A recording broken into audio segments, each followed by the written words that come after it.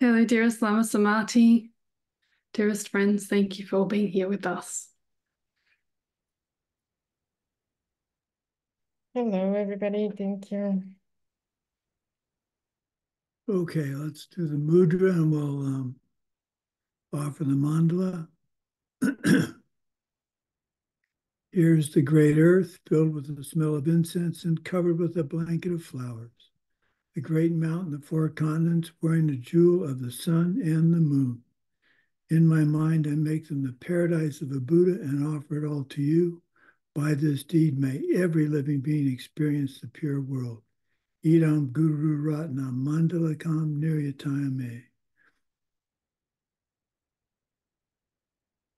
I go for refuge until I am enlightened to the Buddha, compassion, knowledge, and strength, the Dharma, the enlightened side of truth, and the Sangha of the community of realized beings.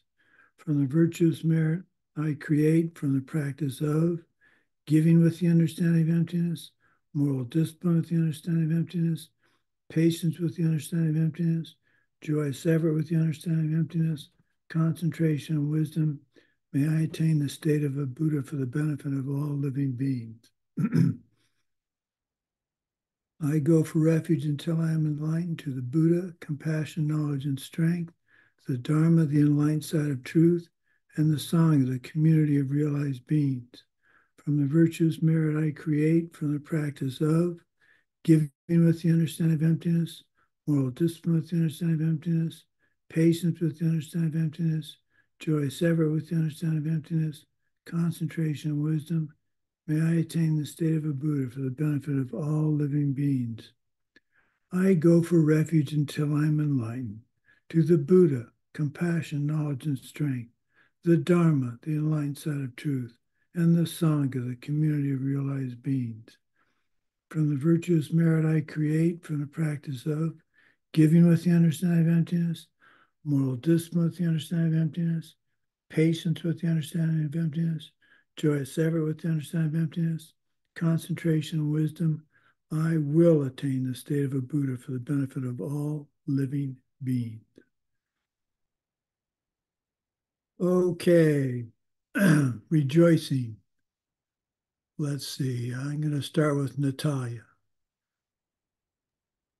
Okay, um, I'm rejoicing. I was able today to help a friend with uh, understanding of the Lam Rim course, and uh, we we had some discussion, and it was very very nice. It's very it was very uplifting. Good. Okay, Svetlana, what do you have to rejoice in?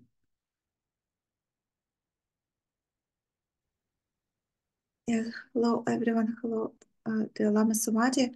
Uh, I I would like uh, to rejoice that uh, today uh, mm, I uh, uh, was able to connect to the Xuanzang Tower classes. Uh, it was early morning for me, yes, and it was very precious classes, and I dedicate that everyone has opportunity to attend attend classes in life as well. Excellent. That's uh, that's the way to see it in your future. That's for sure. Okay, let's see. Let's go. Oops, I got to turn on the interpretation. Here we go. Let's go with Becky.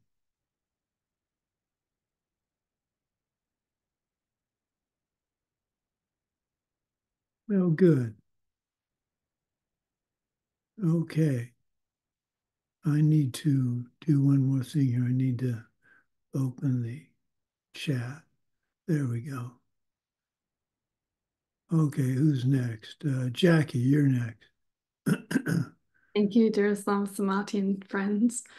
I rejoice that we have the Dharma to be able to help us through in any circumstance Whereas before I would have been lost to be able to handle the things that I'm looking to help with my family right now, to step in, to get into the dirt, whatever it takes, just being there and doing what we need to help others in any circumstance and having the bravery, the kindness and taking others through our journey with, with care and love. Thank you. Yes, the Dharma has certainly provided me with the ability to cope with my illness. And uh, I don't have many other problems in life, but um, being able to cope with the illness has been an extraordinary benefit of the Dharma. So we shouldn't uh, shouldn't forget how important it is to practice 24 7, not just on our cushion. okay, let's see who's next. Evgeny.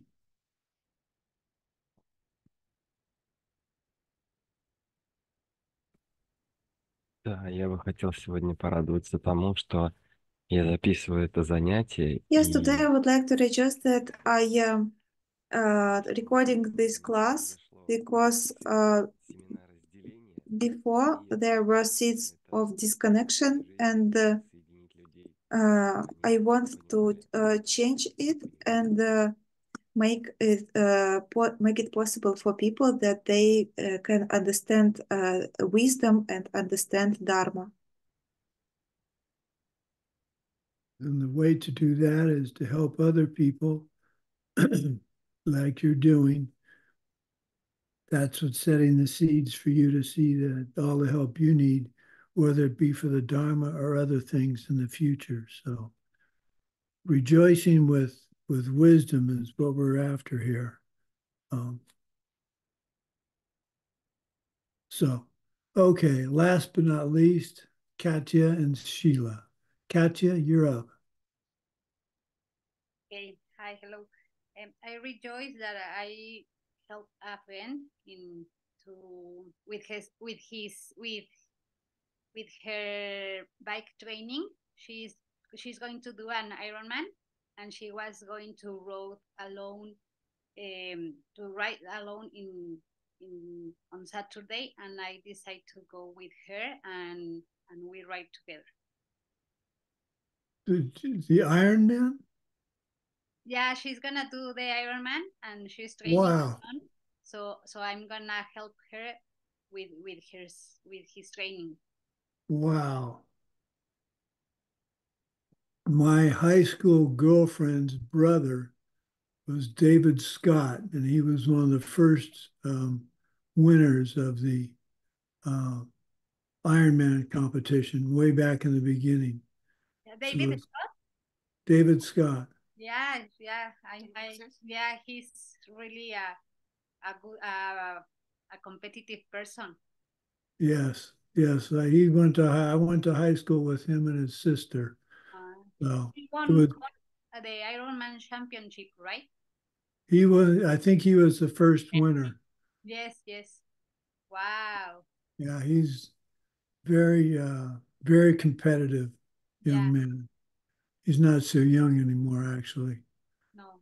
But uh, yeah, yeah, his sister was my first uh, serious girlfriend. Wow. Mm. Maybe someday I'll show you a picture of myself and her going to the prom. Yes, it was nice. Okay. Thank you. Sheila, what do you have to rejoice in? I rejoice that uh, I have been very careful with the way that I speak, and I have been stopped saying uh, things that can hurt uh, the other person or negative things, and and I'm very happy because of that. Very good. The important, like I just said, the important thing is rejoicing with wisdom because, I mean, just rejoicing is great, but rejoicing knowing that what you're doing is setting the seeds for your future uh, enlightenment is is very powerful. So always add the at the end that you're rejoicing. Well, for instance, in uh, in helping this person with uh, their exercise regimen, you that'll give you the karma to get help in whatever you want to do, not just physical activity, it's my belief if you rejoice in generosity, the generosity can come back as a financial or food or um, studying. Um, yeah. Okay, what am I rejoicing in? Hmm. I'm rejoicing in my having patience. Um, and that'll help me get what I need in the future. I we had trouble with the internet. I had to put a new router, a new modem uh, on my internet system, and you'd think in this day and age that that would be very straightforward and simple. It took me two hours to get my computer connected to this new modem, and then my wife, uh, luckily, the night before her class, we uh, tried to hook her up to the new modem, and it took me four hours of work with a technician to try and get that to work because I had to use my phone uh, to connect with the technician since I had to have the router on to try and fix it. And because of Parkinson's, it's very hard for me to, it's very slow for me to type on my phone. So it took a lot longer than I thought it would. But we got it fixed. And when my wife woke up, it was all working perfectly for her. And, and that's setting the karma for me to have people help me fix things when I need it. So it was frustrating. I didn't get mad at anybody. I realized it was my karma ripening for not helping any, uh, not being careful on what I did what I was doing, and that's what resulted in the problems with the modem. So, so that's my rejoicing. Okay, um, today's class is going to be a lot about emptiness. and it's a little bit confusing because Geshe-la is having a, an imagined conversation with someone from another planet. So I'm going to go through it slowly, and we're hopefully going to be able to uh, figure this out. So what we're doing now, we're still studying step by step how to attain enlightenment to become a being who can truly help all others. People on other worlds have figured it out. People on this world have mostly not figured it out because we still see hunger and war here. If we practice what we're what Geshe Michael's teaching us in these Lamrim teachings, we study it well, we practice it well, we meditate on the steps, we should, we could, we should reach a place where we can be someone who can help this entire world escape all the pain we see. Now, we can't take their pain away, but we can teach them how to, they can take their pain away. And it's very important to remember that. I can't take your pain away all I can do is teach you how to how you can take your pain away. And when I say all I can do is teach you, that's a massive responsibility and power that each of us will have as we teach. And we need to remember not to um, take that for granted. So, if we want to have help the world escape all the pain and suffering, we have to understand emptiness, period. That's the first step. So each of the other steps will be informed by emptiness. Bongpo Rinpoche was discussing the kind of conditions we need to help us see emptiness. He listed a few. First, we have to have a living teacher. It's not enough to read things on the internet or in books. We need a living teacher who's had some experience of emptiness and has also had some familiarity with the scriptures that teach it. Now, I don't have a personal experience with emptiness. I wish I did, but I don't.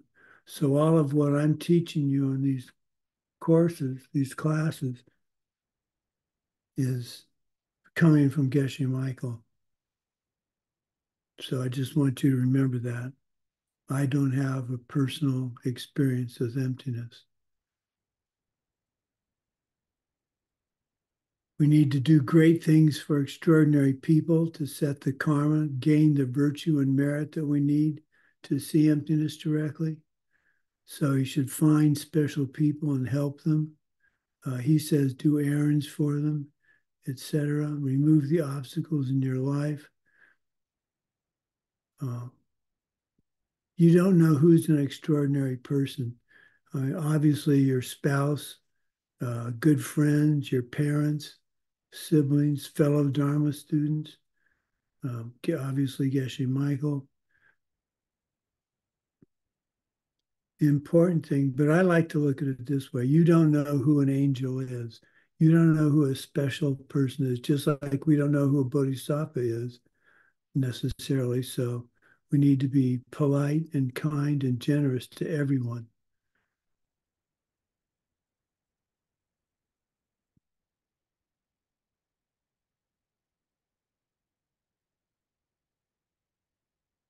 So, well, here's an example. If someone is irritating you and is not listening to you, then you have to see who you're not listening to and change it. In other words, if someone's not listening to you or irritating you, it's because you were irritating someone in the past. So it's, it's how can I put this? It's important to, to remember at the moment if someone's irritating you that it's easy to think you don't deserve it because you're a nice person. Let's say you're a nice person now and you don't irritate people. So when someone irritates you, your first thought is, well, that's, this isn't fair. I don't irritate people. Well, it's like my saying, I don't get angry anymore. Just this morning, I got angry again at myself for having trouble putting on my uh, compression socks. I got mad. I try very hard not to, but it, I get frustrated and I get mad. So I could say it's not fair. Um, I don't usually get mad anymore. So why am I getting mad? It's somebody else's fault. Well, I'm getting mad because I got mad in the past and it's ripening now for me to get mad again. What I need to do is stop getting mad in the present so in the future, I don't see mad people around me or am I getting mad? But it's, it's important for me not to think, and this isn't, there's no correlation between uh, my getting mad now and getting mad in the past.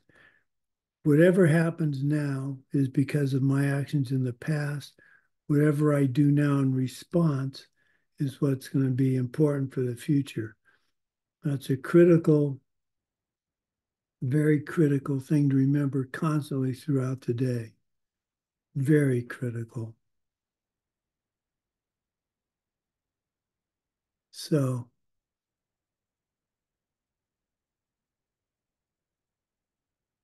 you need to ask your heart Lama, your root Lama, uh, for help. You can do it directly if you can contact them directly, or you can do it in your mind all day. You should talk to your teacher. You could say something like, I'm asking you directly in my words and heart to guide me all my life, especially in the deep teachings of emptiness.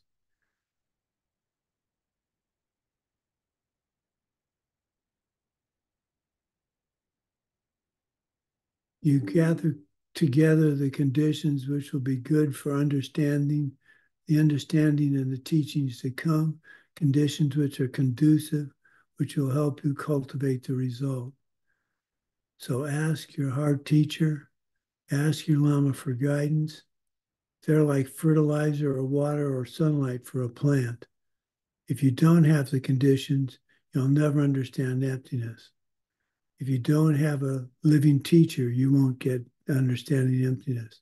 If you don't make good karma with, with powerful objects, you won't get, you won't understand emptiness. If you don't clean away your own problems, um, you won't get emptiness. How do you know you have a problem? If something unpleasant happens, you have a problem.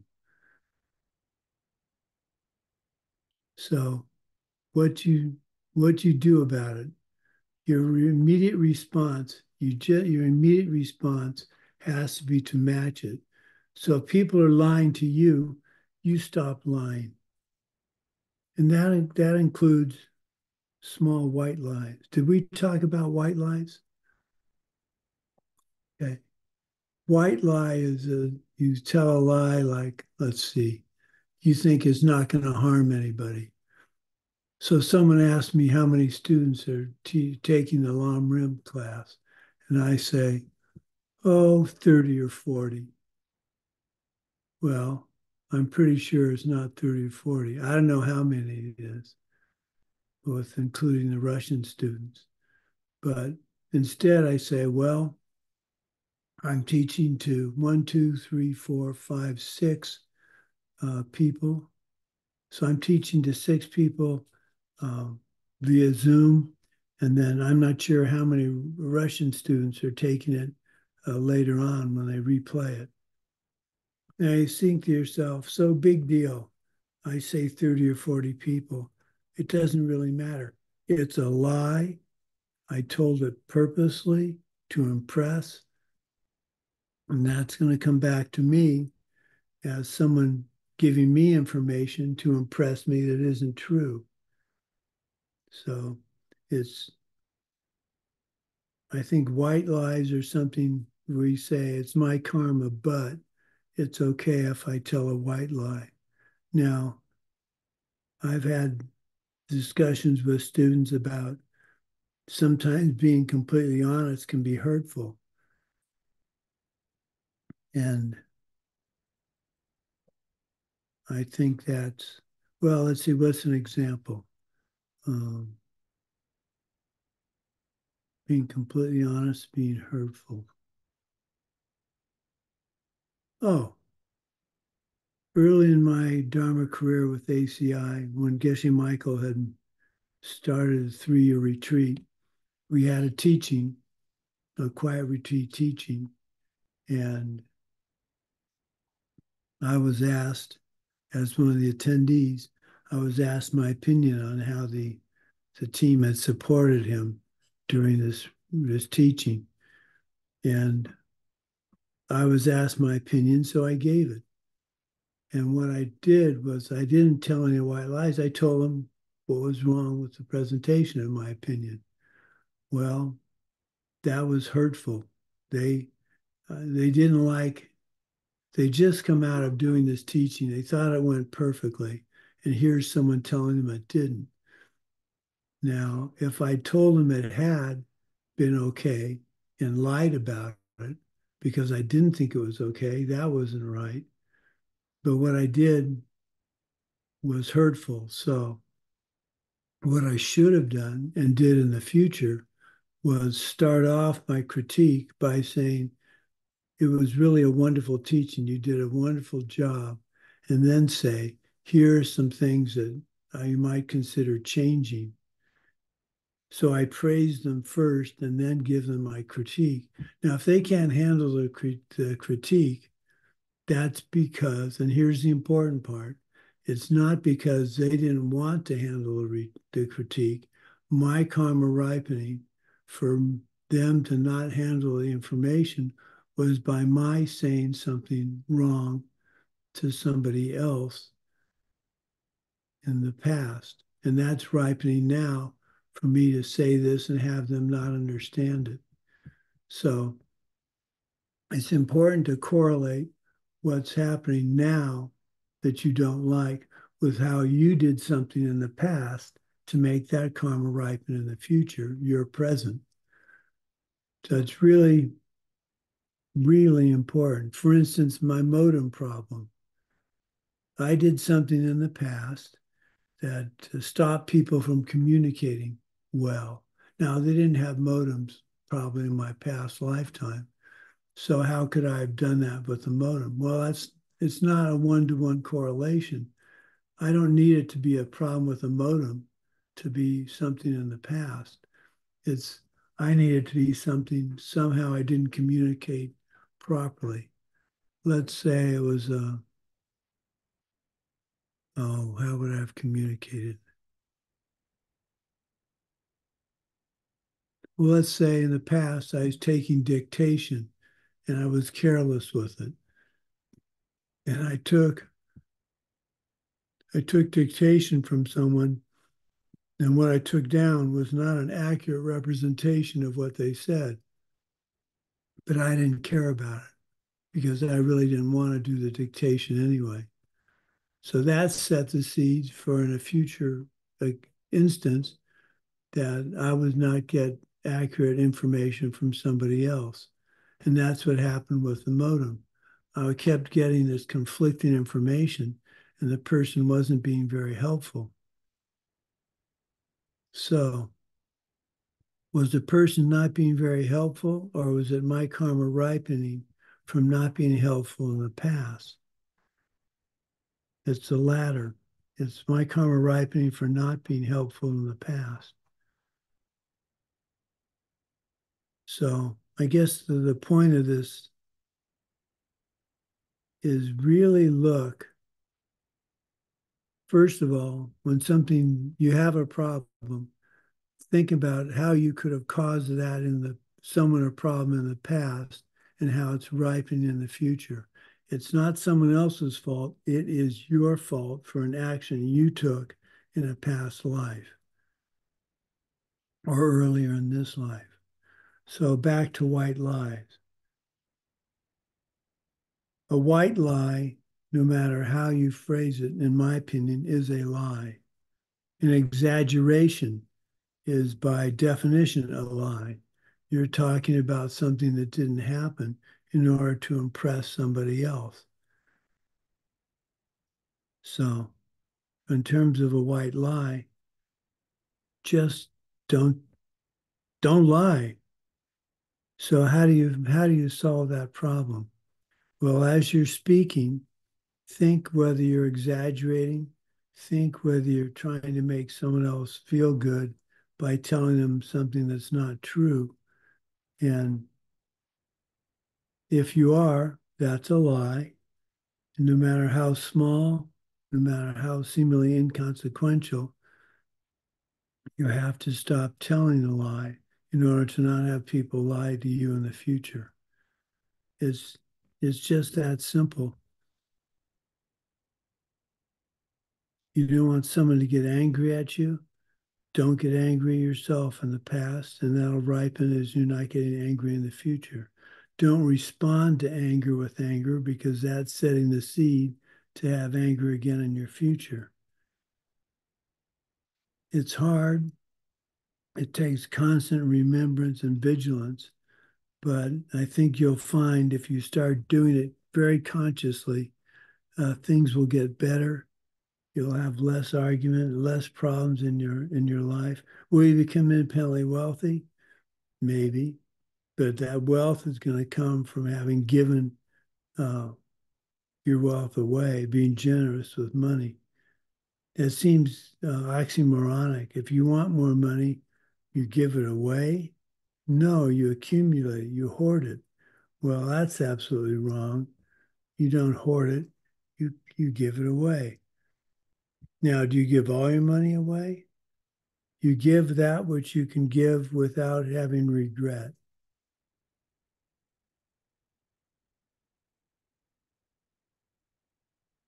So, white lies.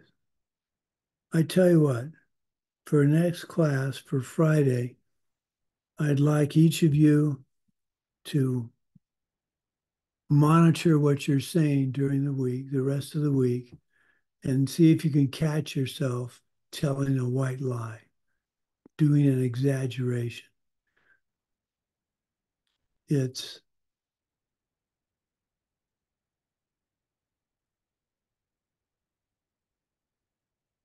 the point of the exercise is to not to uh, blame yourself, not to embarrass you by telling us what the white lie was.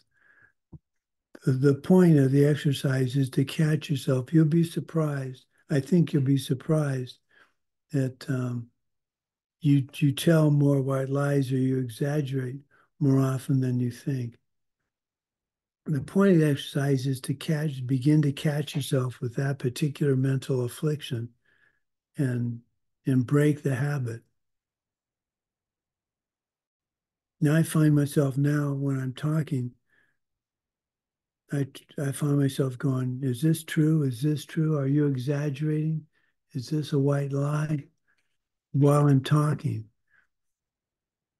And that, uh, that makes me understand how prevalent it was and before I started trying not to tell white lies, just how uh, how often I did or exaggerate. So, well, for instance, when someone asked me about one of my books, um, my my last book, you know, how big is it? Well, it's not very big. How many pages? I could say it's around 200, or I could say it's 300, trying to impress them when it's really 220. If I know the number, just say the number. It's 220 pages long. If that's impressive to somebody, great. If it isn't, that's great too. Okay, let's move on.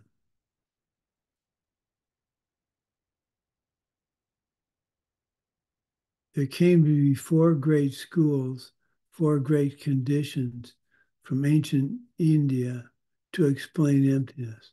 We're going to be going into that in much greater detail later. There are many versions of emptiness taught by Lord Buddha himself. These were given to different levels, audience, different audiences with different capacities, lesser, medium, or greater capacities. Hinayana, Mahayana, mind only, Detailists, Svatantrikas, Madhyamika Prasangika, all these different versions of emptiness depending on the audience. And course 15 is about what the what Lord Buddha really meant. If you get a teaching that seems to contradict what he said, um, understand that he's teaching this particular teaching that you're listening to is a different uh, capacity audience. I remember being at a teaching he gave in the University of Arizona. We were sitting there, he's giving a teaching on emptiness, and he could see that he was losing the audience. There were about 30 people at this meeting. And so he stopped completely and went into a very popular meditation that he, he was pretty sure all these people would enjoy. So the reason I say I mention that is you need to be flexible on what you're teaching. If he'd continued teaching, he would have set the seeds for boring an audience and possibly having the audience not want to be involved in Buddhism anymore. So he had to change what he was teaching in order to prevent that. So instead of teaching material that would be um, boring to other Dharma students, he changed it into making it something interesting. Now, was it boring from its own side? No. Was it boring to them? Yes. Could I could he have taught, or if Mike in this situation, could I have taught differently? Yes. So you see, taking something as simple as a teaching to an audience that's not appreciating it is a very good example of how you have to be vigilant and monitoring what you're doing and the response of the, the people you're trying to teach. It sounds complicated, it really isn't. Um, you get a feeling pretty quickly in a live audience uh, how interested they are. Okay. So Geshe Michael now goes into this conversation with a being from another planet about aspirin. So just listen carefully and I'll see if I can explain this clearly to you. So this is the pen all over again, but it's aspirin instead. So what's this?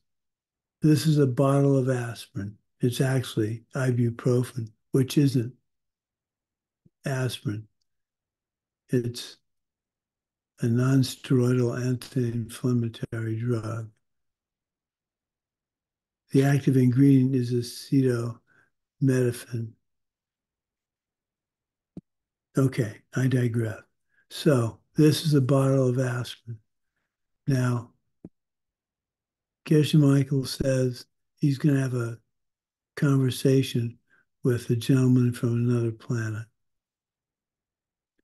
So Geshe Michael asks, What is this thing? It's aspirin.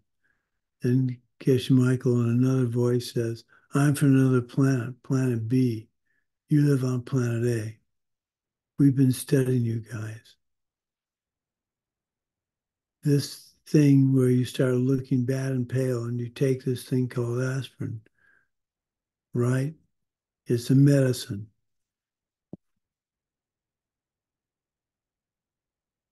What's a medicine?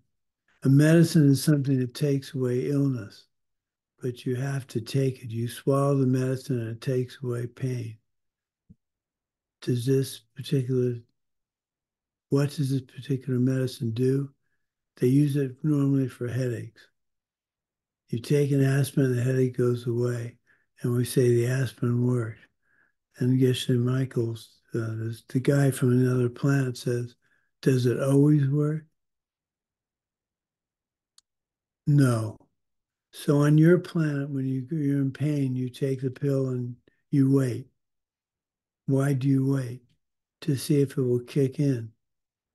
Let me get this straight. This is the person from another planet. You take a medicine that by definition takes away your problem, and you wait to see if it will work or not work. When it doesn't work, is it a medicine? Medicine is something that takes away our pain. If it doesn't work as a medicine, I don't think you can say that. When you take the aspirin it doesn't work, are there different chemicals in the aspirin that weren't there in the past? Now, that's an very interesting question because it's quite possible that the medicine didn't work because it's missing an ingredient. But that's not the point.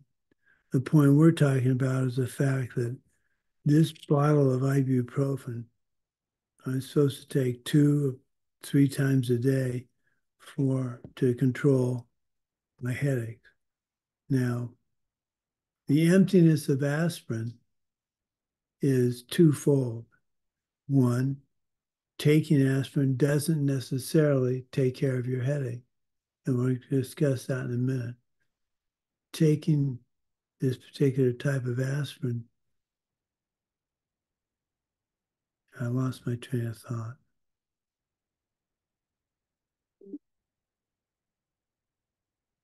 Hang on a minute.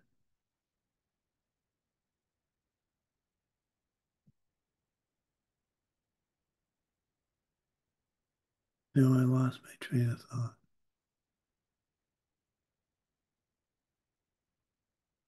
So when we take the aspirin, the headache goes away. We say the aspirin works. Does it always work? No. So you take the pill and wait. Why do we wait? To see if the aspirin works. So the guy from another planet says, let me get this straight. You take a medicine that by definition takes away your problem and you wait to see if it will work or not when it doesn't work, is it an ass? Is it a medicine? Well, that's a good question. When you take the aspirin and it doesn't work, are there different kinds of chemicals in the aspirin that won't let them do the, won't let it work? No, that's not true. It's the same chemical makeup. So the guy from another planet says, This doesn't make any sense. If it's the same chemical makeup, it should work all the time. Why doesn't it work? And the guy from our plant says, That's what I don't understand. It should work all the time.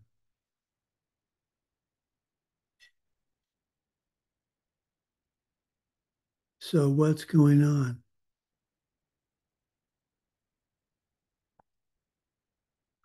Your karma needs an agent to make the pain go away.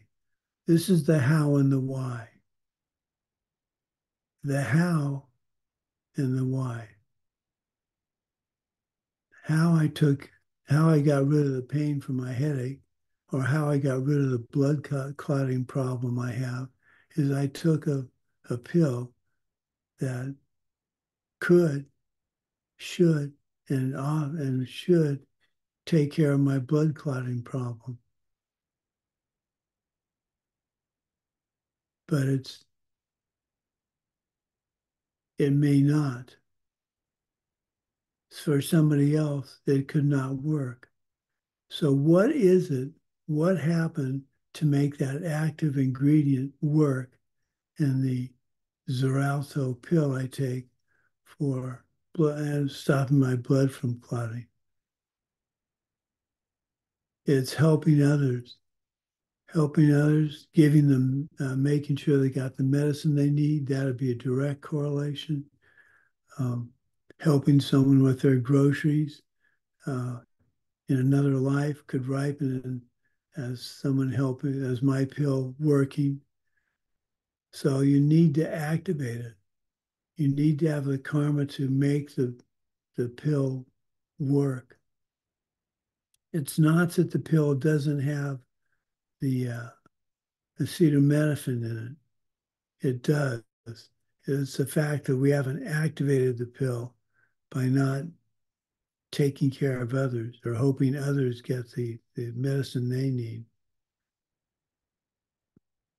So on three-year retreat, my wife had these terrible migraine headaches. and one of the other students in retreat bought my wife her medicine because Vimla wanted the karma for having helped my wife, a powerful karmic object from, for Vimla. She wanted the medicine to work for her because she got headaches as well. And the way she assured the medicine working for her was to make sure that somebody else had the medicine they needed. That's what, what activated the medicine for Vimla. So, how did it work? It had a, a chemical in it that prevents migraine. Why it worked, why it worked was because of her giving someone medicine in the and she giving my wife medicine now made it, ripen for her to work for her because she considered my wife to be a powerful karmic object. And that's the key. If you think the person's a powerful karmic object, they are for you a powerful karmic object. So by thinking, by doing that for my wife, Vimla was setting the conditions for that particular medicine called sumatriptan to work for her. Now, she could have just paid for the medicine and given it to my wife and left it at that. That would have been nice. It might have helped. But by her saying, I'm giving you this medicine because I need to set the seeds in the future for the medicine to work for me. That's doing it with wisdom. So the argument, the question Geshe-la is bandying about with the uh, person from another planet is that most of us don't know the how and the why, or the past, the present, and the future analysis. And because of that, we see the world in pain and in suffering.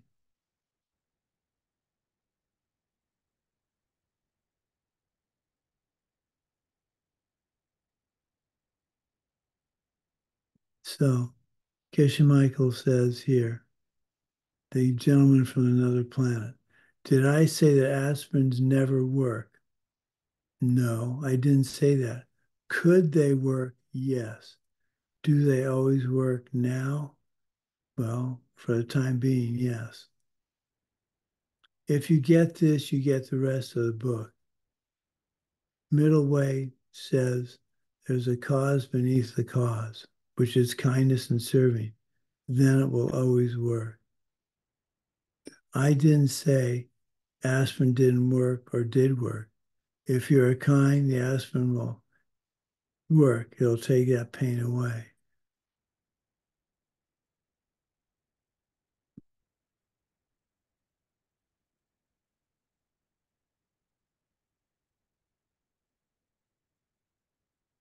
There's a very unique teaching of the Middle Way School. What we've been talking about is something called dependent origination. It just means that things work because of kindness. Things work when you've been kind. If you put a seed in your mind for aspirin to work by being kind to someone else, then aspirin will work take all the aspirin in the world that works because you, not because you've been kind. How much would you have? None. It's important to to uh, repeat that. Take all the aspirin in the world that work. Now, excuse me. If you put a seed in your mind for aspirin to work by being kind to someone with a headache, the aspirin will work.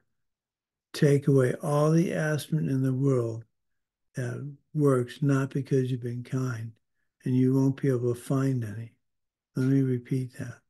Take all away all the aspirin in the world that would work not because you've been kind. And how much would you have? None. There is no self existent ingredient in aspirin that takes away your headache.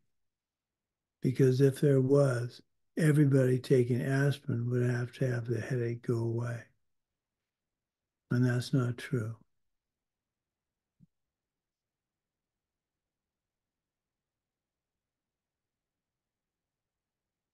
So you need to activate the actual active ingredient, the why of the how and why. I can't emphasize enough how important that is throughout your day, thinking of the how and the why, and how that's how you're reacting. If you understand how and why, you understand dependent origination, then it's very easy to accept what's happening to you. Well, maybe I shouldn't say very easy, but it allows you the opportunity to investigate and ex- accepting what has happened to you. I keep coming back to my illness. If I think it's not fair for me to have Parkinson's and and get mad about it, And I'm denying but my knowledge of karma and emptiness. I'm denying my knowledge of dependent origination. It's as if you say, if you say it's my karma, but what you're basically saying is you don't believe that the the why is important. Let me repeat that. If you say it's my karma, but you're basically denying that karma is the cause for your problem, even though you've acknowledged it, you said, but it isn't. So it's like, well, here's an analogy, um, a little bit different. Uh, giving an apology. So, how many times have you heard the phrase, uh, no ifs, ands, or buts? So, with an apology, you don't say, I apologize and I hope it didn't hurt your feelings. You don't say, I apologize if it hurt your feelings. You don't say, I apologize, but I didn't mean to hurt your feelings. You apologize by simply saying, I'm sorry. And if you believe it won't happen again, say it won't happen again.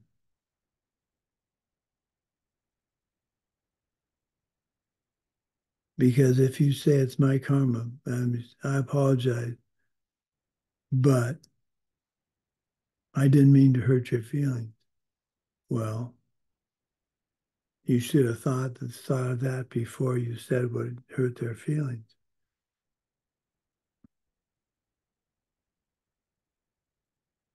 So catch yourself saying it's my karma, but and stop it. Because you know through the how and the why, the dependent origination, that there's no such thing as my karma, but it doesn't matter.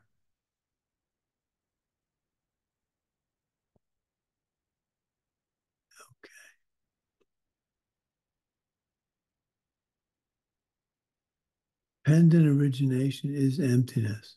The meaning of dependent origination. The meaning of emptiness is dependent origination. They, there are two sides of the same coin. You've heard that many a time in the ACI courses. What that means is if you're going to teach emptiness, you need to teach dependent origination. If you're going to teach dependent origination, you need to take, teach emptiness. And this is where it gets a little bit tricky, depending on what school you're in and what level of, of uh, understanding you have.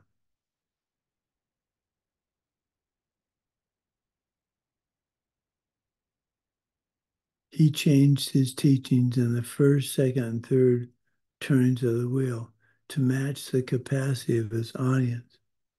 He wasn't saying they were stupid. He wasn't saying they were dim witted. He just said, This is the load that you can carry in terms of the thought process for seeing emptiness directly.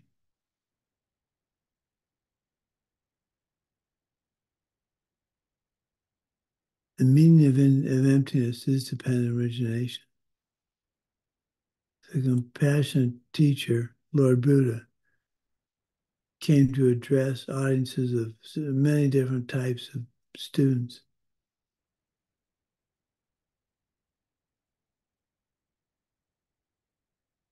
You have to be sensitive to that. So, one of the questions asked if you don't have any control over my body and mind, how do I create better karma? Well, when you say you don't have any control over the present, you do have control over the future. The karma that ripens in the present, there's pretty much nothing you can do about it. And that's the pervasive suffering in my mind, pervasive suffering is not only are you dying the minute you're born, but the minute you're born, you have karma starting to ripen.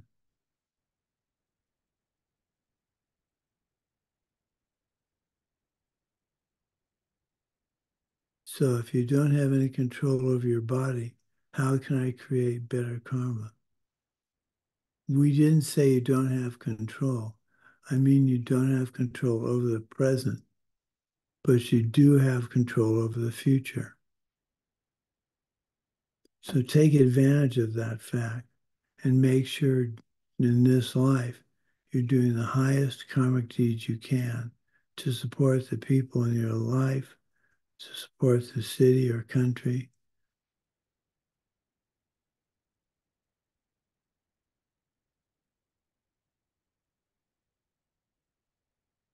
So, like I said, Lord Buddha taught the concept of dependent origination to several different levels of students.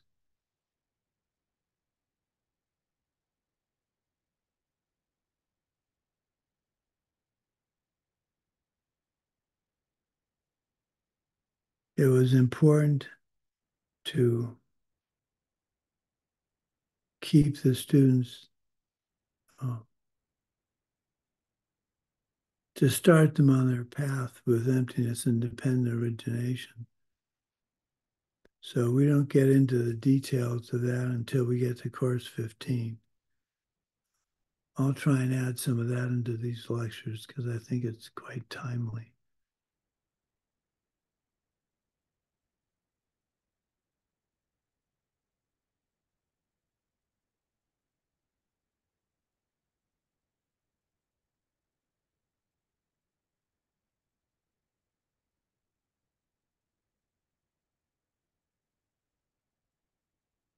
So now we're going to talk about things existing and things that don't exist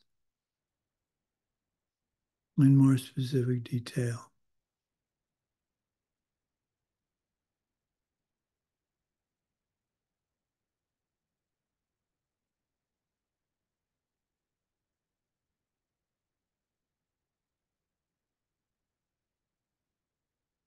we had this Lord Buddha taught the three different turnings of the wheel, which had three different levels of dependent origination and emptiness teaching within them.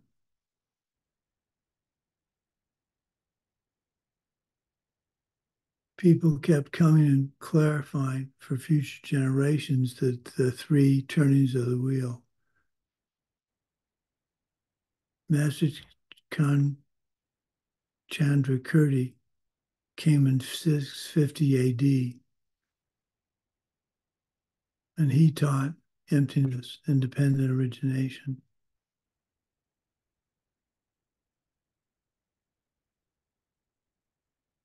And it confused people.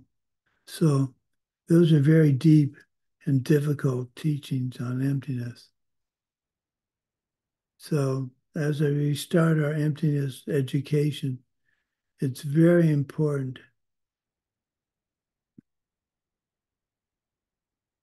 that if someone teaches you, gives you a teaching on emptiness that doesn't apply to your life and doesn't help you be kind to others, it's not useful and it's wrong. It's like saying emptiness is a color. Emptiness is not a color.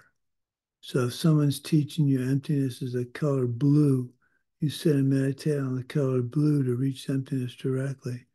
That teaching's wrong, and you shouldn't pursue it any further.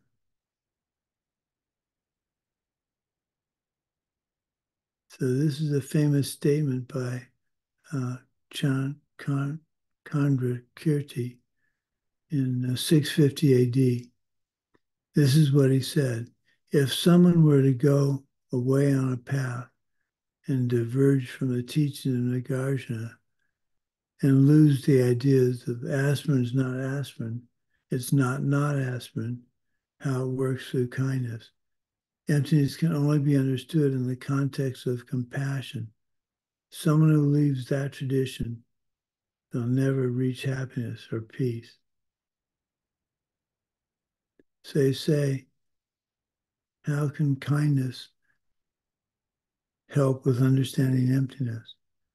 It's a matter of accumulating enough merit through doing virtuous deeds to set the seeds that you'll see emptiness. You'll understand dependent origination and see emptiness directly. Now, how does that correlate? Well, as I've been saying all along, it's very important not to take a karmic deed and saying that it correlates one to one. If you're generous for just somebody else, it doesn't mean, well, let me rephrase that. If you're generous for somebody else, let's say you you uh, help them with their homework for ACI course three, you go out of your way to help them now and you dedicate it. Will that, how, what could that ripen at? You've gone out of your way, you've been generous with them. It could ripen as money, it could ripen as someone helping you with teachings in the future. So there's just because you help someone study doesn't mean that generosity couldn't uh, ripen as you're getting all the money you need. Because generosity covers both instances. So it's very important to understand this lack of a one to one correlation. I'm trying to think of another one.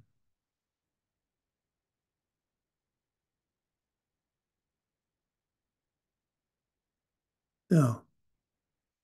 There was a retreat, there is a retreat center in California called Vajrapani Institute. And they had a really nasty road going up this creek, kind of narrow canyon like.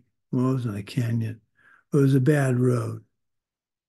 And they asked Geshe Michael, what do we need to do to get this road improved? We don't have the money to uh, put in a new road, to surface it with asphalt. And he said the karma correlation for ill will and gossip and arguing is you'll live in an area with rough roads and it's difficult to travel.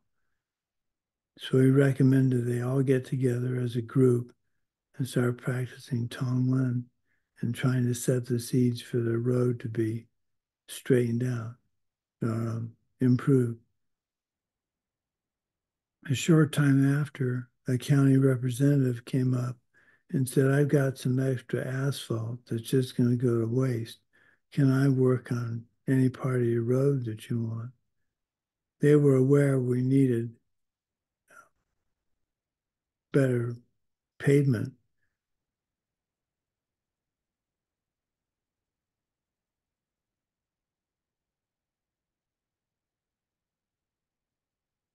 the county was. So what happened was the uh, people of Vajrapani started watching their speech. They started watching their interaction with each other, not being argumentative, supporting each other's decisions. And several months later, the county came and repaved their road. Now, how did that happen? Why did that happen? Because just being not uh, arguing with people, how that manifest in having a nice road? Well, by not arguing with people, you're setting the seeds for you to have things happen for you without having to argue with them about it. So didn't, they didn't go to the county and say, we need more asphalt. We need our road to be improved. Instead, they, they went another route and they said, we're going to stop sowing the seeds, karmic seeds, for rough roads and discord in our community. And by doing that, we're going to set the seeds maybe to have the road improved. Now, maybe what would have happened was someone would have donated $100,000 to uh, improve the road. That that could have happened. But instead of it being money, it was because of their kindness toward each other. And that they knew that that would karmically correlate into something pleasant, which was the road being formed. There's a bunch of karma correlations that we get to in the ACI courses. It's a couple of pages. It says, you do this, you get that. And that's an important class. But it's easy to fall into the trap that it has to be one to one. If I cook for someone, then someone's going to cook for me in the future. Well, that could be. But if you're taking care of someone by cooking for them, maybe in the future, what happens is they don't get sick. So you've you've helped them not by feeding them, but because you helped them in the past, you're generating the karma to see them in the future get what they need. So if I want to not have Parkinson's in the future and maybe have it go away in the present, I need to help others. I need to be more considerate of others I not I need to not inconvenience them. So how does that correlate with not getting sick with Parkinson's?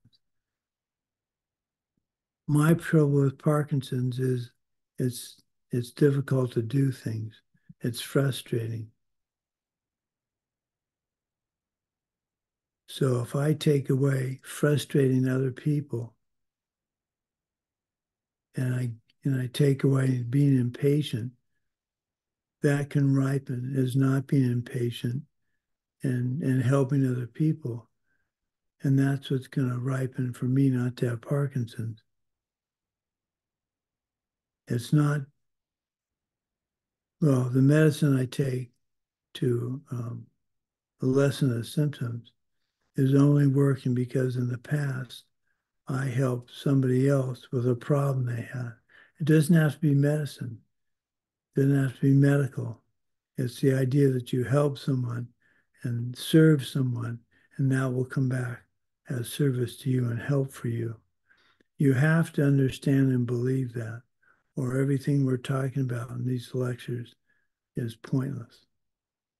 Dependent origination and emptiness. The two work as side to side on the same same side of, the, of a coin. Without one, you can't have the other.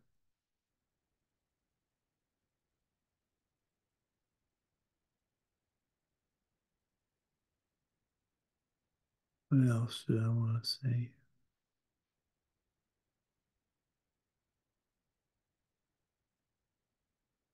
Oh, here's a good example. I'd forgotten about this. So we're at Diamond Mountain. I'm getting these teachings on karma and emptiness, movement of the mind, lies. And I right away, I order a copy of the soundtrack to V for Vendetta. It's $5.40. No big deal. I get the CD, and on it it says, do not duplicate or not for resale. Well, I bought it. I could keep it.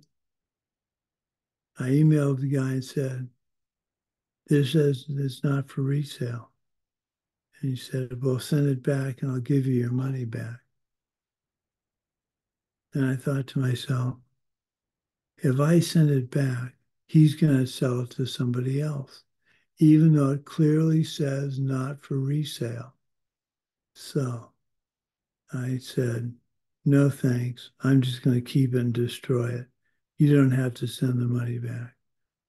So I did. I took and destroyed it because I knew that if I didn't, I was promulgating, I was supporting this gentleman's uh, incorrect view of how to sell things.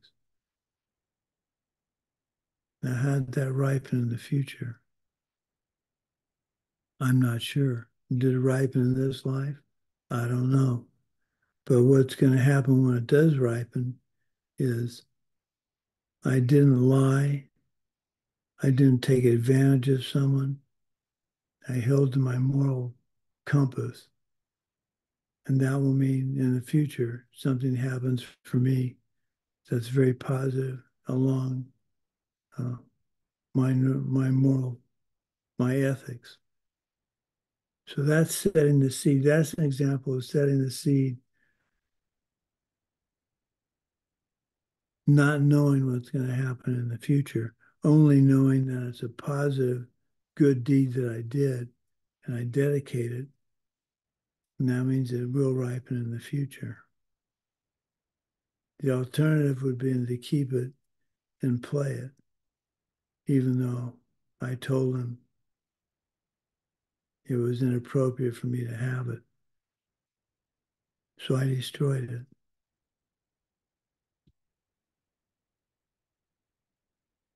That's thinking through a karma ripening, a karma consequence, and dependent origination.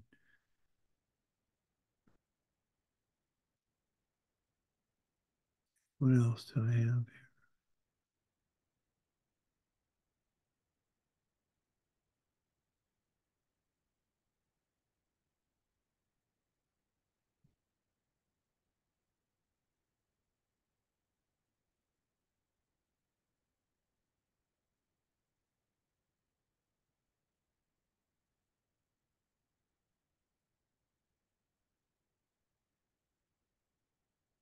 Okay, that's pretty much all I wanted to talk about today.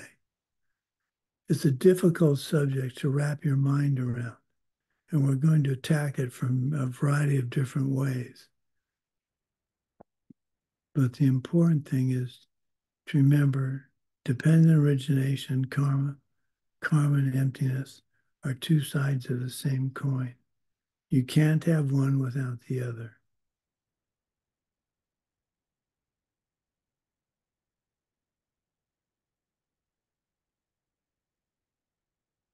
Yeah, that's all I wanted to say. So we'll go back on the meditation uh, next class. And we're going to we're going to attack emptiness from a variety of different viewpoints to try and find one that works the best for you. Are you going to understand emptiness perfectly after this class, this these 10 classes? Maybe. But I'm trying to set the seed for you to be interested in trying to pursue the understanding of emptiness and develop your meditation skills so you can apply your understanding of emptiness in your meditation to reach your ultimate goal.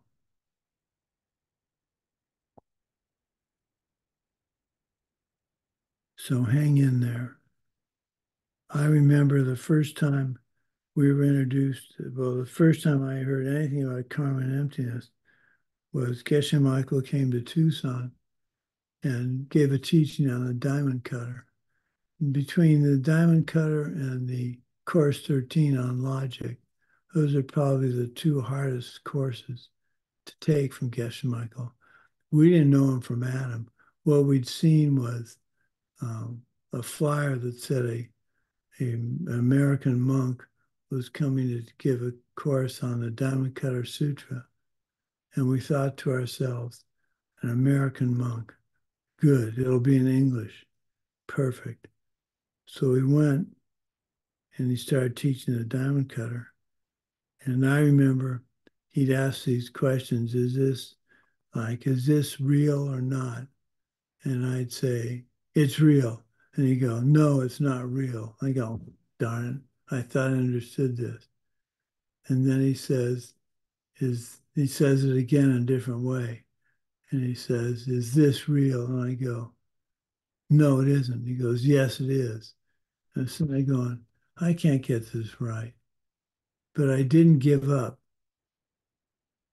I decided that this had that this teaching on karma and emptiness made the world make much more sense and I was going to stick it out, even if I couldn't get the answers right. And I did. And I helped him get into three year retreat. And I got my chance at three year retreat. And I'm still getting these wonderful teachings from him. So,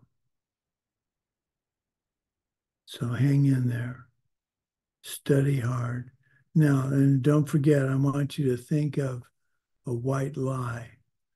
And don't be embarrassed. The point is not to, to admonish you. I'm trying to get you to see just how prevalent. Now, maybe in your life it's not prevalent.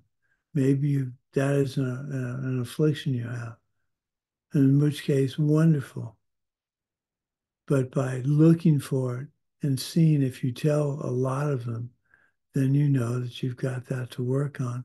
And that's why people, if you aren't getting help from other people, is because you are telling lies, even white lies in the past.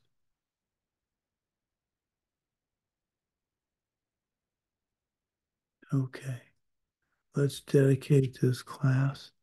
This class is a little confusing, a little rambling, and I apologize for that a teaching depends on origination and emptiness is a difficult subject.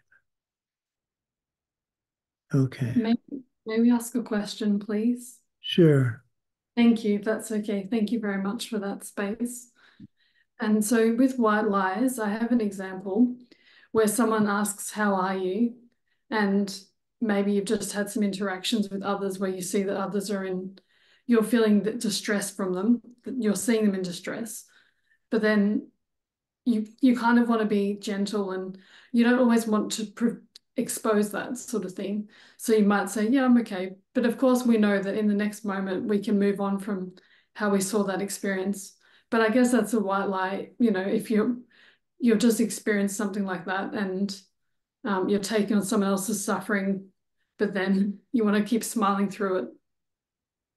Well, thank you, Jackie. That's an excellent, excellent example of what of a white lie. I really, I had forgotten that I use that and sometimes when I teach. So thank you. It's that's a very good example. So you ref, the ref, reflexive response to someone saying, "How are you?" I'm fine. How are you?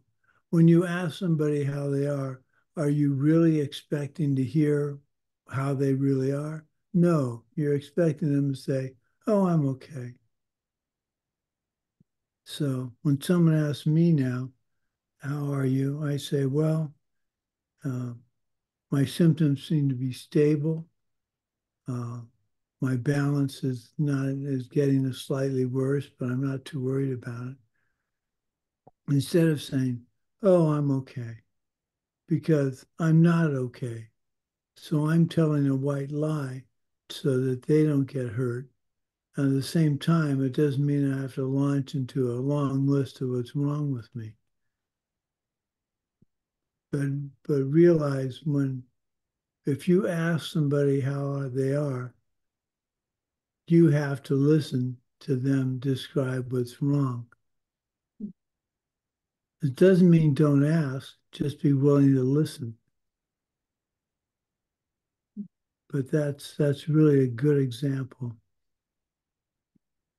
trying to think of another one like that.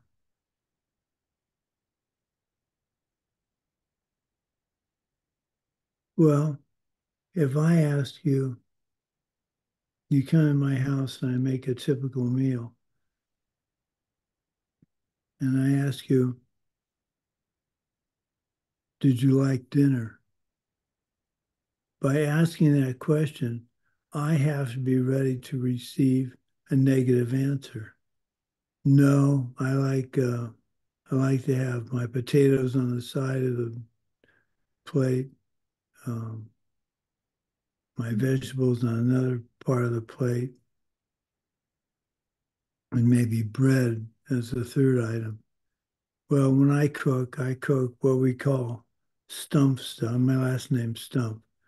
We call it stump stuff. It's usually a bunch of stuff all put in one container. It's like a stew. And that's just because we don't, we'll have a salad on the side. Now, where am I going with this?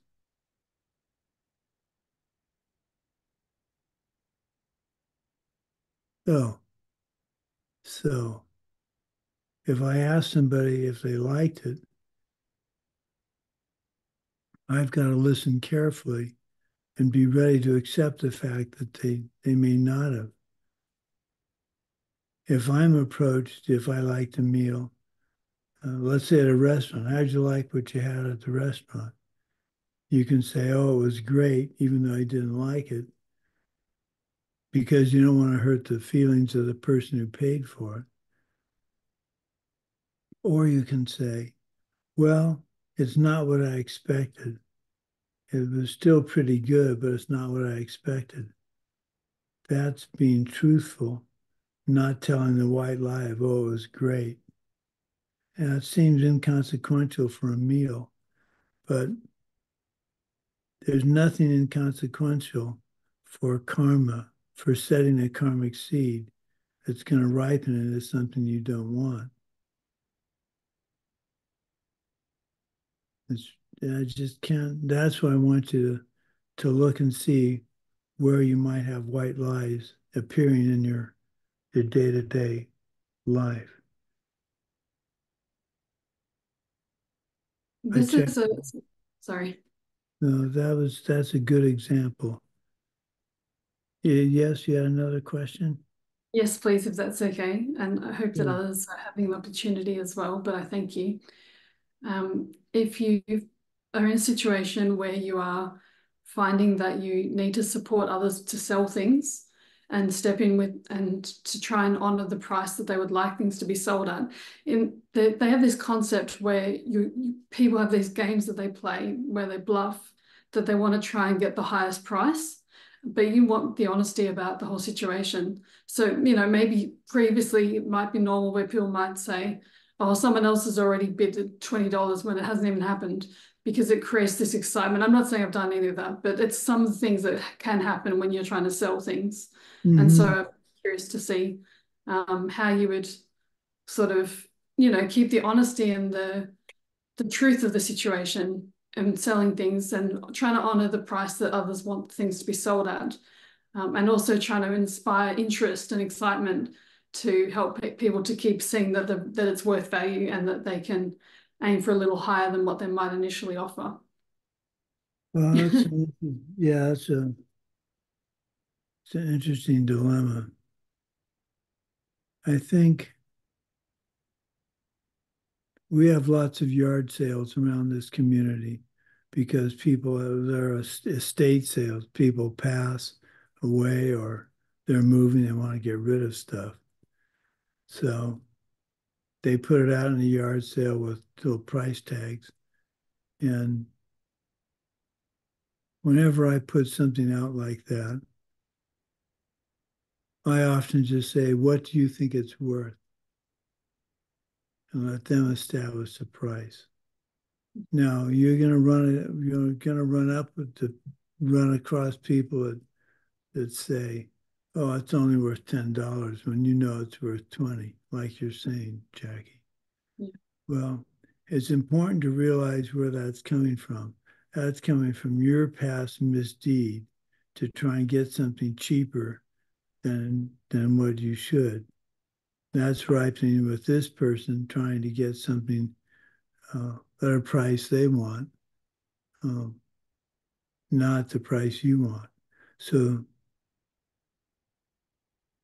so in the present moment, if you if you go to a yard sale and there's something there for ten dollars that you think is only worth five, you have to honor that person's um, that the price that person gave. And that's setting the karma for you to get the people to agree to buy, to pay what you think it's worth. So the reason someone's not doing that is because you did something similar in the past. So it's not like, well, that's I'm I wish these people would would just pay what I'm asking for and not argue with me. Well, that's coming from your past deeds. Knowing that, you just simply say, okay, um, I think it's worth more, but I'll take I'll take that amount. Mm-hmm. It's it's hard to do because you want to get if you're selling stuff like this, you want to get the money you need for whatever next project you've got or help with paying rent or something like that. But remember where it's coming from, remembering you want to make it not happen in the future. So by not arguing with them about the price and what they're willing to pay, you're setting the seeds in the future for you to get the very things that you want uh, because you didn't argue with them. It's hard. It's our our tendency is to try and protect our thought, our need at the expense of somebody else. And that's what we're trying to, to change that attitude so that you can set the conditions for the future being what you want them to be and not being driven by ignorant, um, setting seeds ignorantly. Any other questions? Uh, yes, thank you, Lama Sumati. I have two questions. One is uh, that uh, I I understand uh, that you need to do something for other people to get uh, in the future for you to receive something like this, but I don't understand why so many people are helping other people and they're good people and they're not receiving. Of course, there may be past karma from past lives, but then uh, we have all the seeds possible, all the possible karma that we have can collect from past lives. And uh, it's kind of negates each other. So uh, um, it is the same like with chemical aspirin not working. The karma looks like maybe it's not working for everybody and not working all the time, like giving doing something good. And and the second question is, um, what do you think about? It's not. Uh, what do you think about people who are in the uh, following the teachings and they're just trying to um, to do things with this understanding uh, oh i'm gonna give one dollar here and i'm gonna give one dollar there uh, because i want more money for me later and i want to uh, have like a million dollars later so this for me personally it looks fake mm. a little bit um, and I try to do it and I have a lot of resistance myself. So I'm trying to understand for myself.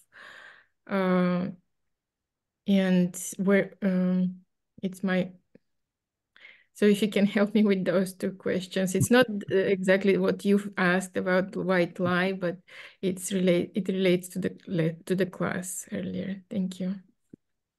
Well, this is a this is a constant struggle for most most people. Um,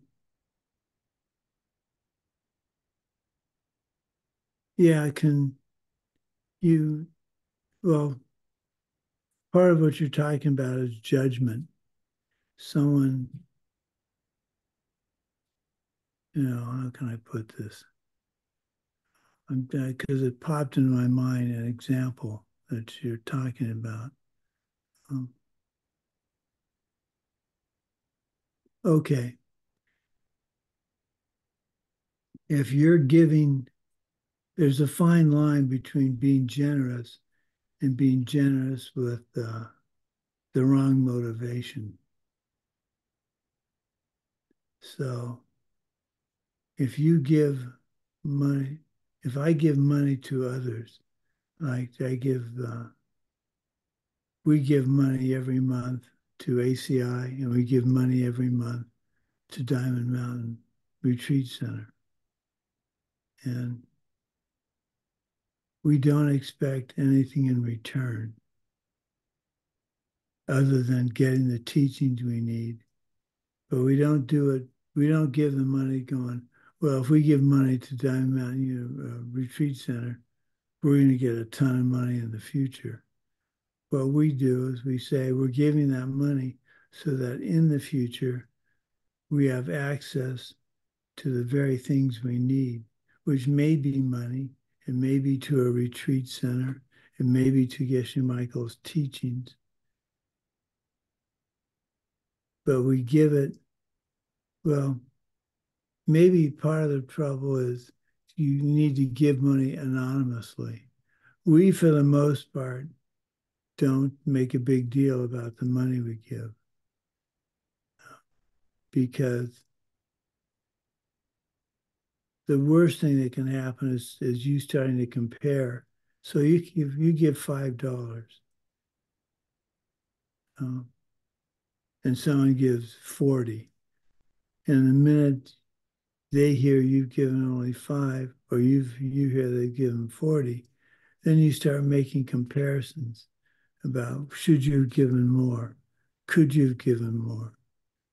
Based on how you you think you'll be judged. And that's that's giving with ignorance. Um, because the judgment's going to come from you. It sounds like it's coming from somebody else, but the judgment's coming from you. You've set the seeds in the past, judging others and their donations as being not enough or too much. And that's you're judging somebody else instead of taking care of your own donations. I don't know if that answers your question, but. Oh. Yes, thank Yeah. you. Mhm. Thank you. What was the other question? So the other one was uh, because we've lived many lives and we've accumulated karma, positive and negative karma. And um, if uh, somebody is in the current life have been giving and helping others and uh, was nice person, but they still are um, not reach like not uh, uh, not receiving back uh, what they have given um, the the teachings will say it's from the past lives but in the past lives we all have positive and negative karma so for me doesn't add up a little bit um, doesn't add adds up if a person is uh, being nice and they're not receiving Oh, okay. Yeah. Well, that's the uh, that's the fun part in quotes about karma. I have a very good friend who's been trying now for since I've known her from 2007. So what, 16, 17 years. She's been trying to get a spiritual partner, a boy, a, boyfriend. Well, I guess it could be a girlfriend any day these days. Okay, a spiritual partner. So she's been going to a uh, helping at a retirement community because Geshe said the way to meet your spiritual partner is to go help at a retirement community and help them uh, with day to day living. And she's been doing that for 17 years and she hasn't got a partner. And she's very frustrated. But that doesn't mean you give up. It means you continue to do that because you never know when that karma is going to ripen and you getting the partner you need or you desire. So, well, here's another example. You rob a bank. You have a lot of money it seems like robbing the bank is what got you the money, but it isn't. What got you the money is generosity in the past, which happens to ripen after you've robbed the bank. So, what's going to happen is you rob the bank, you have karma ripening for generosity, and you have all this money. But in the future, since you robbed the bank, someone's going to take that money from you. You potentially could have to take the money from you. So there's not a direct, a bad deed robbing a bank can't ripen as a good thing, getting money. It just, that's a law of karma that's in, inviolable. So if you want to, let's see.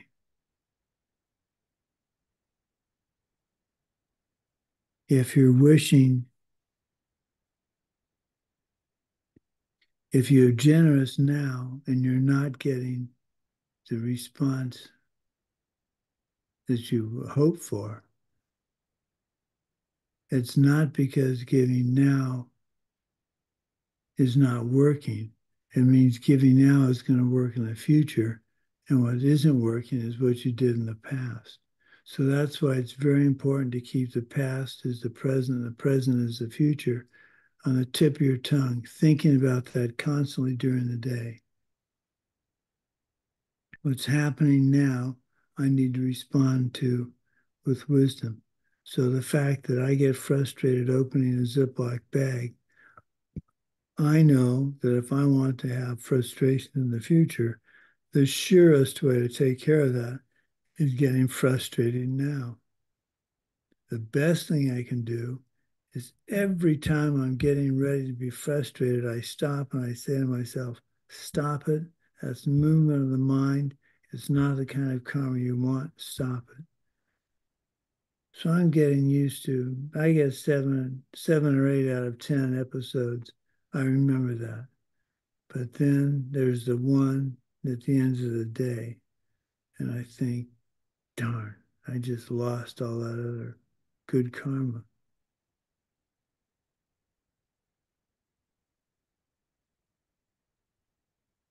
So, so I think it's don't look for the response right away. It may happen.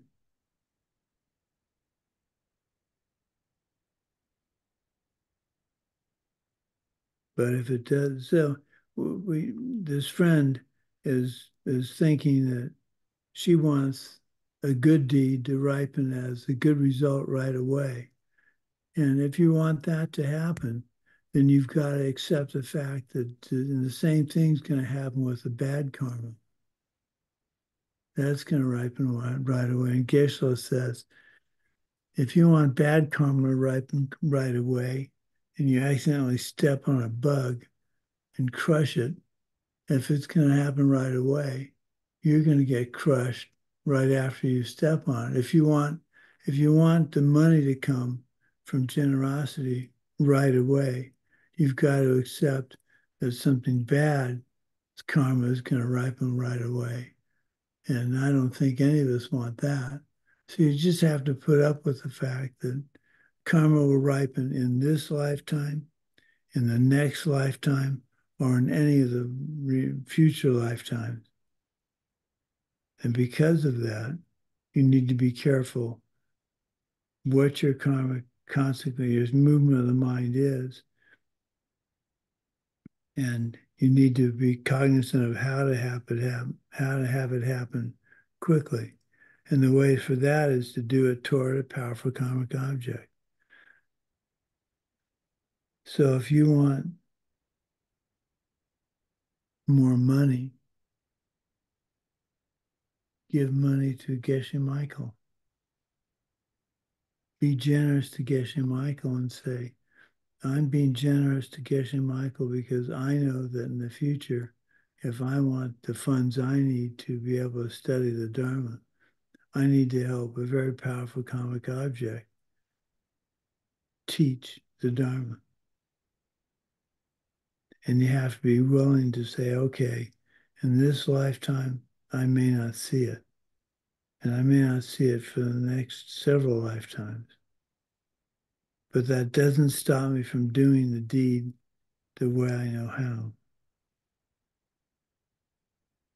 With wisdom.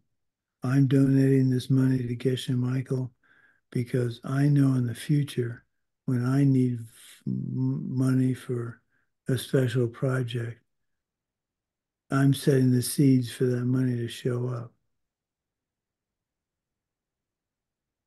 So my friend is looking for a spiritual partner. She can either say, This isn't working, I give up. Or when she's helping someone at the old folks' home, she says, I'm doing this so in the future I get the companionship that I want. Then she goes over and helps somebody else have lunch. And she says, I'm helping out this person have lunch because I want to know in the future that I'm going to have plenty of food uh, for my table.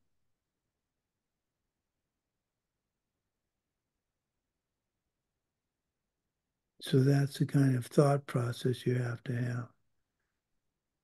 If you're trying to help someone at an old folks home be appreciated and uh, and happy, then you set the seeds. That's setting the seed for your future happiness.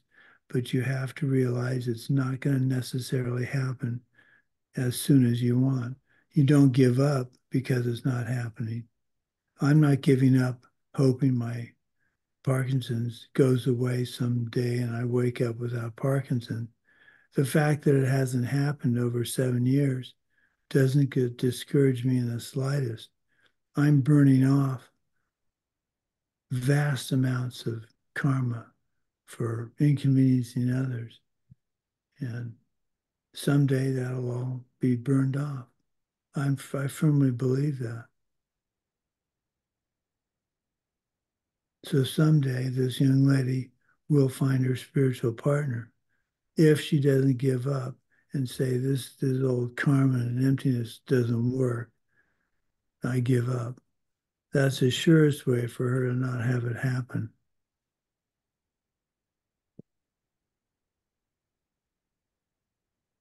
Any other questions? Um, yes, please.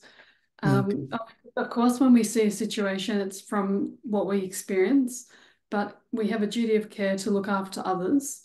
And if we really truly think that others are in a situation that we need to help them with in some way, um, like I'll give you an example, it's incredibly personal, but where you see someone just piling to the sky um, boxes they're just piling them to the sky and it's not going to fit into the next place.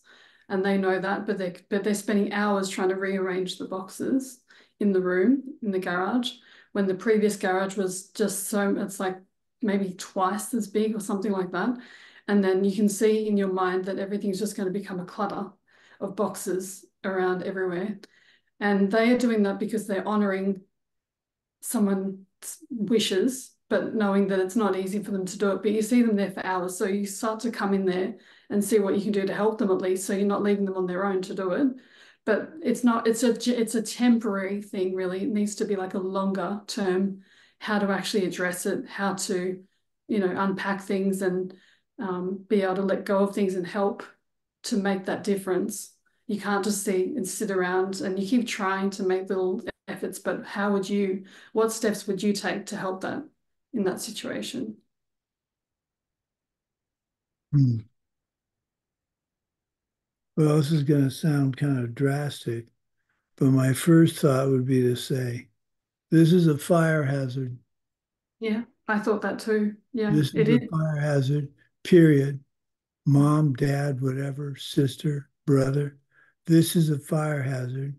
I do not want you to have a, a fire, a problem with fire. So we need to get rid of half these boxes, period. There's no discussion. We need to do that because it's a fire hazard. Now, you have to believe that. And then you have to you have to just go ahead and so so mom, dad, whatever, um, half of these have to go. Now, I can come in and, and just take half the boxes, or you can go through them one more time and you can select half the boxes to keep. And no, you can't have all of them. No, you can't have two thirds of them.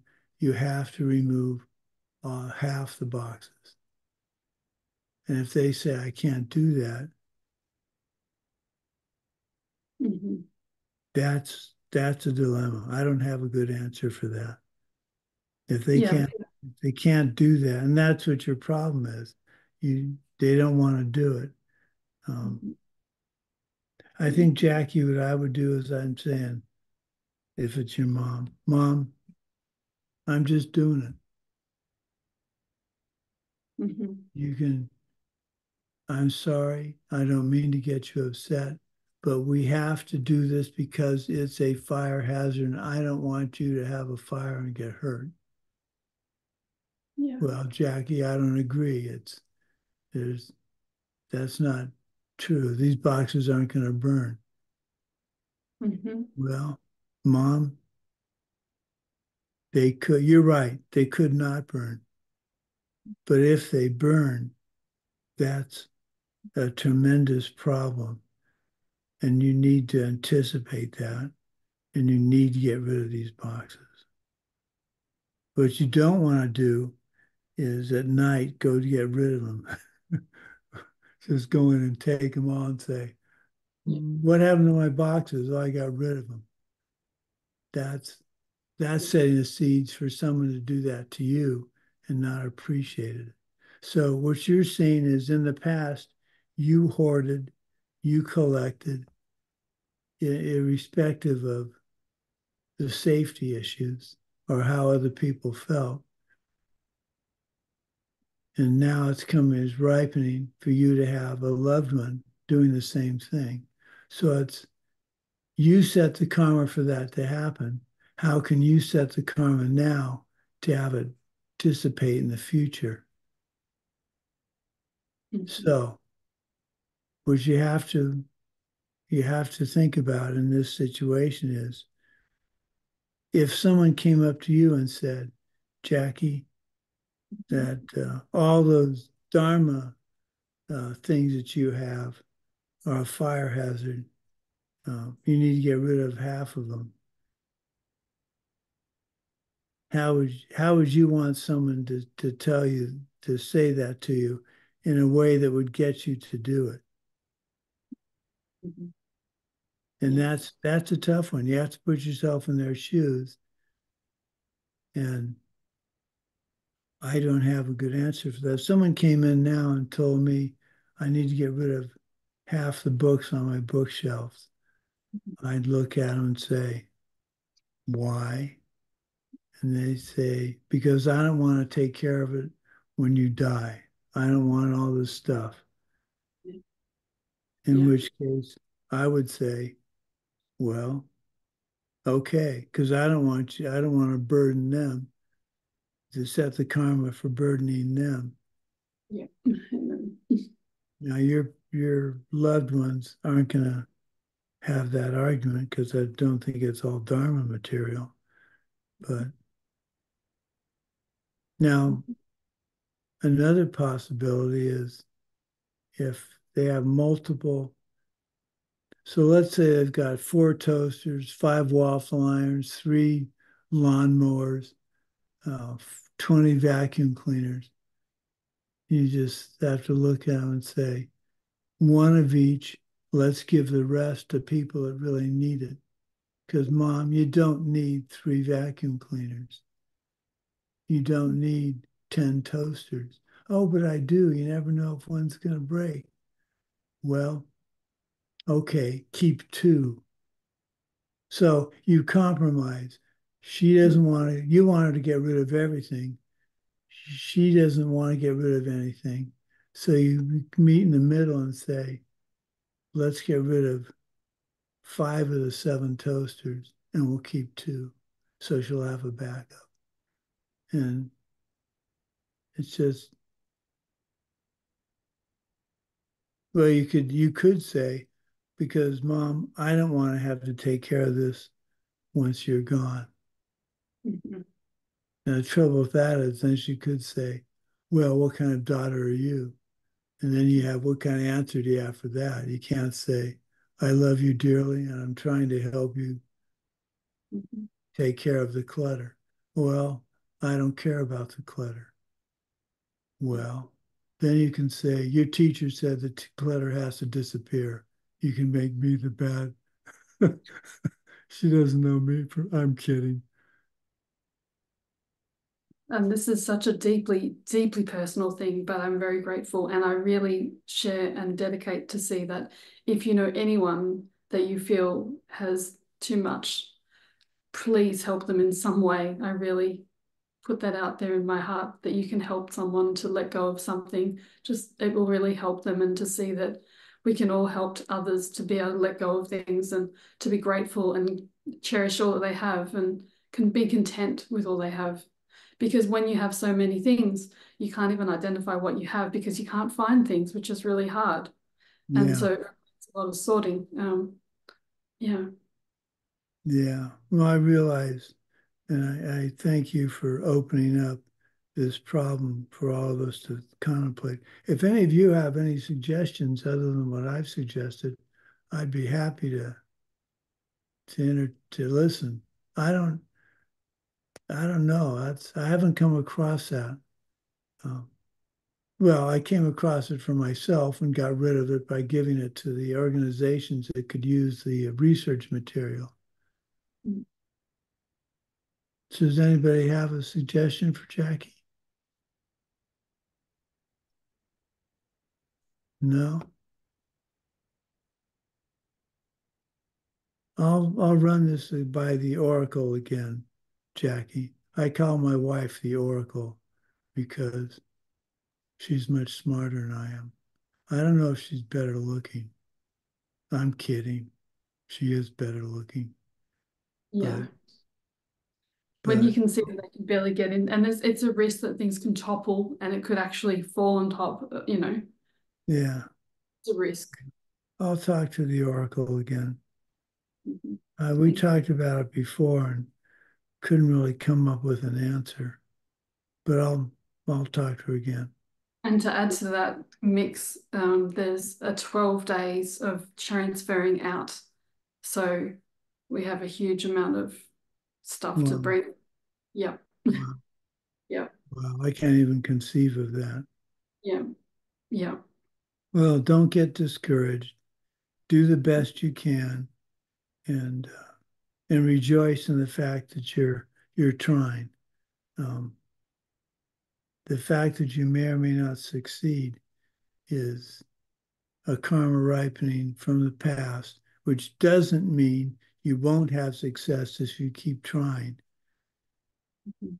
Your motivation is pure and is positive, and Yeah. and that's that's what's going to set the seeds for it to to eventually work. Mhm. Okay, let's dedicate. Thank you so much. May the source of benefit and goodness, the Dharma, spread and expand. May the beings upholding the Dharma have excellent health. May the source of happiness and well being for all embodied beings, the Dharma taught by the Buddhas, always increase.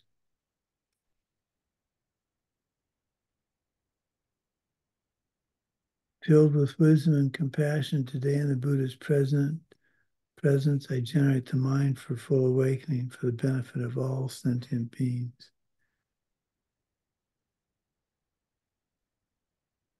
Okay. Okay.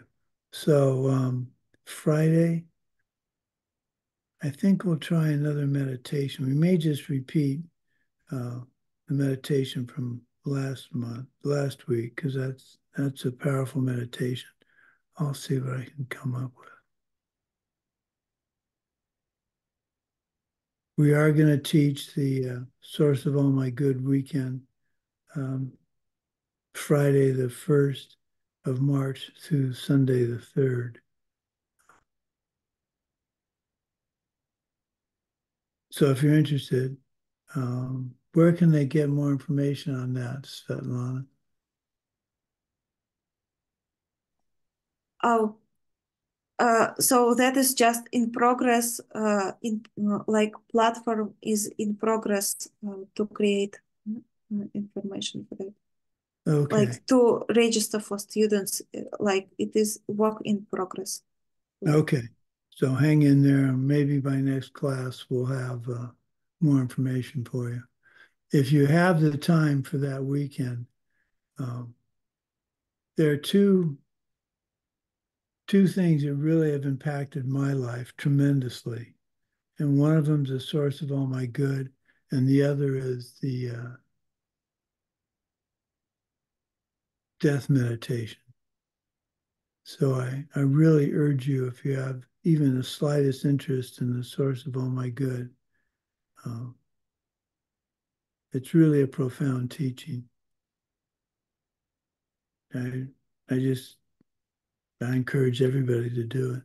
And I know the time is, is bad for most people, but like I said earlier, if you want a teaching like one of the meditation modules, if you're the first to ask me, then your times your time zone gets priority. So Guadalajara, the um, uh, what's her uh, Layla and Olga both asked, and they're in Guadalajara, so they get it.